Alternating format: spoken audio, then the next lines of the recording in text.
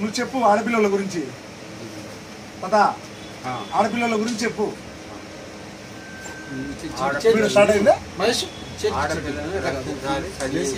వారు క్షేమంగా ఉంటేనే సమాజం ఉంటుంది. ఆడవారిని లక్ష్మీదేవిగా భావించాలి.